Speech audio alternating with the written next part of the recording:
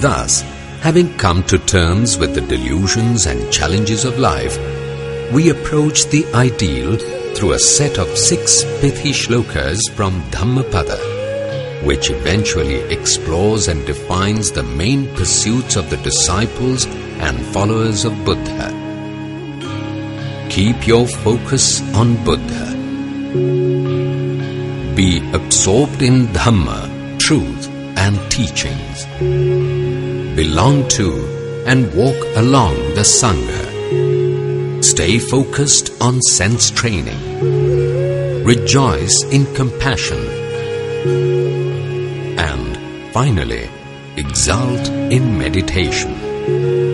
Trust in the promise that Buddha's teachings can make man realize his potential, even make him a Buddha.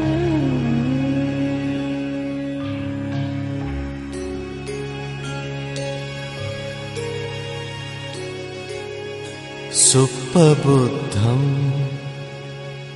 पबुज्झन्ति सदा गोतम सावका।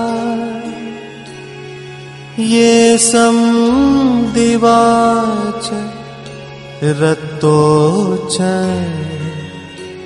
नित्यम् बुद्धगता सति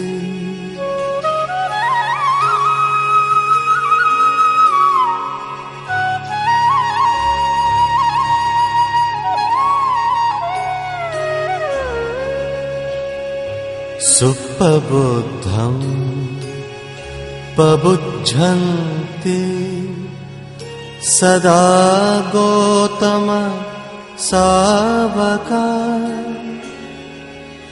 ये सं दिवाच रतो च नित्यं धम्मगता सति